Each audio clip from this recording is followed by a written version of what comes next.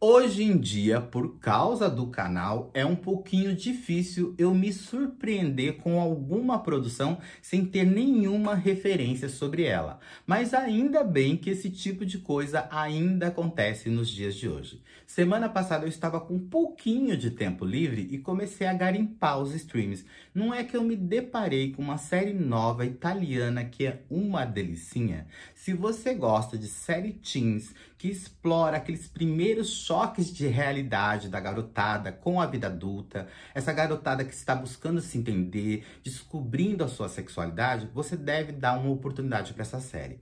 Essa série é do estilo Elite, Ctrl Z, até mesmo muito parecida com Young Royals ou Topper. Se você está aguardando a segunda temporada dessas duas séries maravilhosas, você deve sim dar uma oportunidade para Prisma da Dona Prime Video. Essa série estreou mês passado, se eu não me engano, no dia 26, primeira temporada com oito episódios de mais ou menos 45 minutos cada um, que vai te conquistar desde o primeiro episódio, porque é um episódio curioso, tenso, super convidativo para a gente continuar percebendo esses novos personagens e essa história nova que está sendo nos apresentada. E no vídeo de hoje a gente vai falar um pouquinho sobre essa série, com pouquíssimos spoilers, com algumas curiosidades. Se você ficou interessado, fique comigo até o final desse vídeo. Quer saber mais? Vem comigo!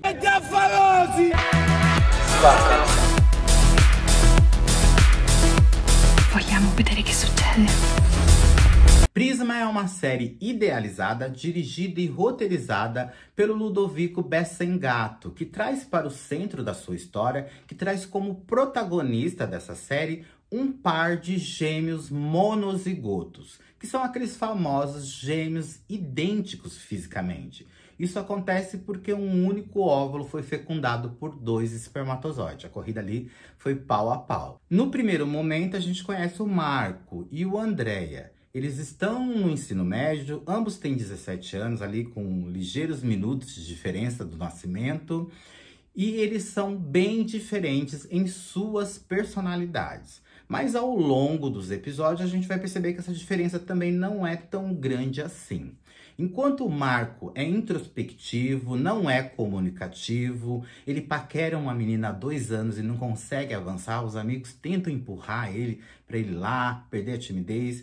No passado ele já teve o seu primeiro beijo, mas foi uma experiência traumática, então ele tem dificuldade de se relacionar. A única ponte de comunicação dele com a sociedade é o irmão André, que é mais descolado, mais antenado, um pouco rebelde, comunicativo. O Andréia já teve as suas primeiras experiências sexuais, ele já namorou, ele namorou uma moça chamada Micol, que mora em uma cidade próxima de onde os gêmeos vivem atualmente. Eles vivem em Latina, que fica na região central da Itália, uma cidade que é bem próxima de Roma, mas é uma cidade pequena, onde todo mundo conhece todo mundo e acaba rolando essa fofoca porque um sabe da vida do outro. Como o Andréia tem um segredo e ele quer viver esse segredo, ele quer buscar cada vez mais se identificar como ser nessa vida adulta, então ele deseja sair dessa cidade, estudar uma faculdade em uma cidade grande, para isso ele precisa de dinheiro. E ele acaba se envolvendo com o tráfico de drogas local. Mas ele é pego vendendo drogas na escola e ele reprova de ano. Então há essa separação de ano escolar dos gêmeos. O Marcos progride, mas o Marcos no passado teve um acidente muito grave que não fica muito claro se ele cometeu suicídio o que, que levou ele a cometer esse ato, se foi um trauma, se ele sofreu alguma violência. E o Andréia, por ser um irmão gêmeos, idêntico, ele tem essa sensibilidade. A série vai trabalhando essas questões. Tem um momento que eles trocam de lugar. E a série vai se apropriando desses detalhes de gêmeos e mostrando pra gente de uma maneira natural. O Andréia, mesmo em um ano anterior, né, separado de ano escolar do irmão, continua cuidando dele à distância. E a partir desses gêmeos, a gente conhece outros tantos personagens bacanas. Um deles é a Nina. A Nina e o André se estranham, eles tiveram uma treta no passado. A Nina foi a grande responsável pelo término do relacionamento dele. Eles se estranham, mas vai ser formada uma amizade a partir deste novo ano. Ela vai conhecer ele um pouquinho melhor e perceber que ele é um garoto bacana. Eu não vou te contar os detalhes para você ir lá e assistir. Depois a gente vai conhecer o Daniele, o Dani, que é um jovem mais sombrio. A gente não vai saber muito desse jovem neste primeiro momento, a relação familiar. A gente percebe que ele é descolado, que ele vive a vida numa boa. Ele tem dois amigos e juntos eles têm uma, um trio de trap, né? O Vitorino e o Ilo. E a gente vai perceber uma cena ali dos três que vai dar uma luz pro Daniele na problemática dele. O Vitorino é um cantor de trap na vida real, então ele traz esse background para a série. Ele é chamado como LXX Blonde. Tem várias músicas deles na internet, tem música dele na série, e se você curtir esse estilo de trap, que mistura ali um rap, um reggaeton, você pesquisa aí, porque pode ser muito agradável para você. Ele é aquele cara hétero másculo, cheio de tatuagem, descolado, pegador. Mas em um momento desses três amigos que estão ali tentando gravar o primeiro vídeo e perceber a repercussão desse vídeo, de viver de música, o Vitorino vai falar que a melhor experiência sexual que ele teve foi com um homem. Vai rolar aquela coisa de macho tóxico, né? Um zoando o outro, mas o Daniele, por ter vivido um relacionamento virtual onde ele está envolvido até hoje, ele está apaixonado, a pessoa não se mostrou totalmente, ele não sabe se era uma mulher, se era um homem, se era um velho tarado, ele está em conflito por causa disso, ele vai ver nessa frase do amigo a possibilidade dele se permitir uma fluidez maior. No passado, Daniele teve um trelelê com outra personagem chamada Carola, que é um personagem muito importante aqui também. A Carola, ela é uma jovem descolada, ela é amiga de infância da Nina, mas essa amizade esfriou um pouco porque elas seguiram rumos diferentes nessa fase juvenil.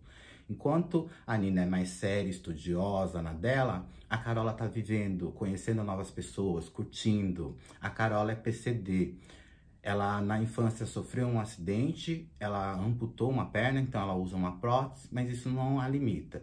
E essa atriz, a Kiara Borge, realmente tem essa deficiência e ela buscou, sabe, se conhecer, viver a sua vida e ela traz esse background. Ela era Miss, ela participava de concurso de beleza, ela é muito exuberante, então ela traz essa doçura, essa feminilidade mesmo com essa deficiência. E é muito bacana todas essas construções. Outra coisa muito bacana da gente perceber que essa série se apropria através do flashback é mostrar os gêmeos enquanto criança, as diferenças e a semelhança entre eles. Em um momento é o Marco que se esconde, que não quer fazer nada, que a família manda. Em outro momento, quem é o danadinho é o André. O André vai fugir de casa quando era criança para se banhar em um lago porque ele estava lendo um livro chamado Le Metamorphose de Ovid, que é um livro de mitologia grega que fala sobre transformação, sobre hemafrodita, sobre dois espíritos em um corpo só. E ele tem essa curiosidade, ele vai de encontro a isso à medida que o tempo vai passando. E agora, né, tá muito efervescente na adolescência, na juventude, e ele precisa experimentar certas coisas. A série trabalha de maneira transparente, sem tentar explicar demais. Essa não é a pretensão da série, explicar todos esses detalhes de questões de gênero. É mostrar com naturalidade e a gente entender que entre heterossexual e homossexual tem um leque de oportunidade. Se as pessoas se permitirem, elas conseguem ter experiências e se conhecer e se entender mais. A escala Kinsler, né, famosa nos anos 60, 70, já mostrava isso, né? Ninguém é 100% hétero, ninguém é 100% homo. A gente precisa estar alinhado a essas novas possibilidades, principalmente no nosso tempo a Carola era a grande paixão do Marcos. Lembra que eu falei no começo do vídeo que o Marcos era apaixonado por uma menina há dois anos? Através de um pontapé que ela leva do Daniele, porque ela é apaixonada por Daniele, ela fica solteira, então ela fica disponível, né? O André ajuda, dá um pontapé no Marcos e ele se aproxima dela e eles vão começar a namorar. E vai ser tudo muito lírico, porque com a experiência da Carola, o Marcos vai perder a virgindade, vai aprender a beijar, vai se tornar uma pessoa um pouco mais comunicativa. Porém, ele vai sofrer também e ela também, porque ela vai ter um momento de queda, né, de Remember com Daniele, com o coração partido.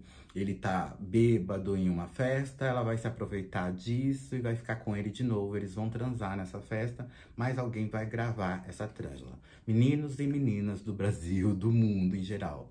Esses momentos de intimidade entre você e o seu parceiro, entre outras pessoas, não é para ser gravado, filmado. Isso vai ficar memorizado, vai ser uma lembrança gostosa que você vai poder retomar quando você quiser. Não gravem nada, porque isso pode cair na internet. E a Carola vai sofrer com isso, mas esse desfecho a gente só vai ver em uma segunda temporada.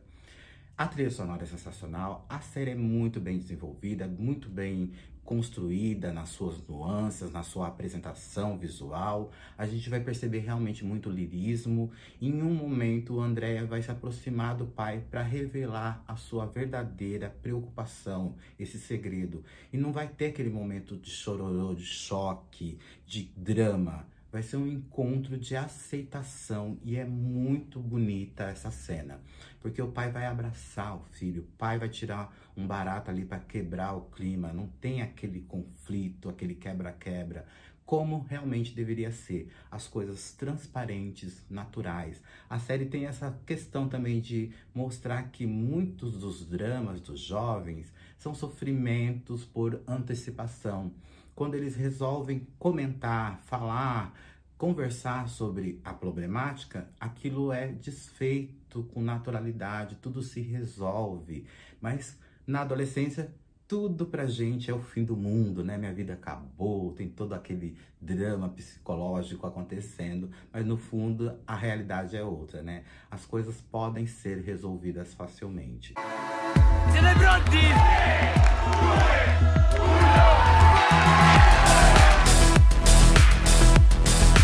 Bom, vou parar os comentários por aqui porque eu já falei até demais, mas antes de terminar esse vídeo eu quero te dizer mais algumas coisinhas básicas.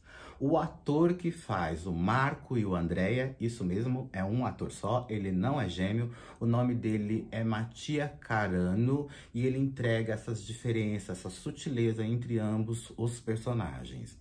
A gente vai perceber que no final dessa temporada tem o drama da Carola a ser desenvolvido em uma próxima temporada o Dani vai encontrar a pessoa misteriosa que ele se apaixonou pela internet no final dessa temporada também, dando essa possibilidade de uma conexão, de uma conciliação ou de uma treta maior ainda para uma próxima temporada. A série tem esse nome Prisma, porque cada episódio é representado por uma cor, e isso pode ser interpretado como a bandeira LGBT. O prisma nada mais é que uma figura, um sólido geométrico poliêndrio com vários lados, que pode refletir várias cores, dando essa abertura de infinita possibilidade na questão de identidade de gênero, de experiências sexuais, se a gente se permitir. Nada de colocar em caixinha. A série não quer colocar ninguém em caixinha. Nenhum personagem se apresenta neste primeiro momento como realmente ele é. Eles estão passando por essa fase de transição da juventude para a mais adulta. Eles estão tentando se conectar consigo mesmo, então eles estão vivendo várias experiências. E tudo isso é de maneira transparente, natural, como a vida deveria ser. Gostei bastante da experiência com essa série. Se você já assistiu Prisma, comente comigo, participe desse espaço, curtindo, se inscrevendo no canal, comentando a sua impressão, porque vale muito a pena você oportunizar essas pequenas séries que têm as suas grandezas, que trazem frescor, e essa é uma delas. Vou ficando por aqui. Um beijão no seu coração e até o próximo vídeo. Tchau!